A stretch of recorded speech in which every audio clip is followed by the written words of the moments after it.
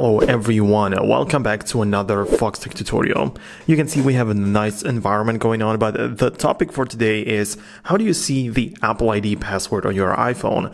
Now, there are some ways how you can check it out, so I'm going to show you exactly what you need to do. At first, open up the settings, come back and just be at the main general section. And if you scroll down, you're going to be able to see the password section right here. So you can see passwords, go ahead and tap on it.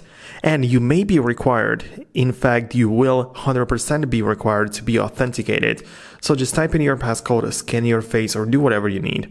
And here is a list of all the passwords that you have saved. And chances are that your Apple ID password is going to be part of the list.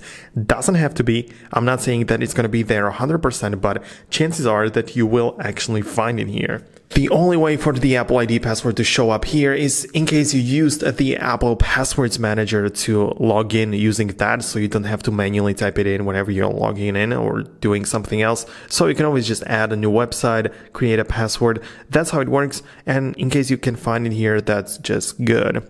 By the way, guys, make sure to join my 100% free education platform. I just finished the Rush course video editing. You can go ahead and check it out in the classroom section.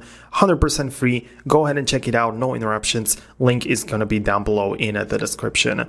Also, there are some different ways how you could theoretically check it out. Perhaps you have some different password manager. If you have a third party app downloaded on your iPhone with uh, some kind of password management systems like 1Password, for example, there you may have the uh, password saved too. So, for example, you can see this is the one that people a lot of you use a lot. NordPass from the NordVPN. Many different ones are available, but yeah, even one from Google. So you can you always have to check those options out to see if you cannot find it.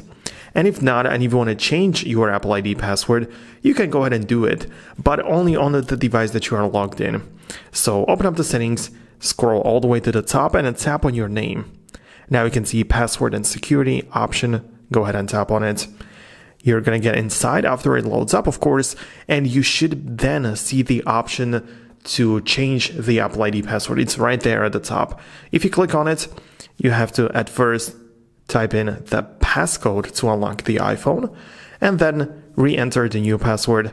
Like make sure that you put it there twice and you can change it very easily. It's not that difficult once you are logged in with the apple id once you use it normally on your iphone you can easily just change the password that way Anyways, guys, that's about it for today. I really hope that you found this tutorial useful. If you want to see more content like this, and you definitely should, definitely hit that subscribe button so you don't miss videos like this one in the future. Peace out until the next one.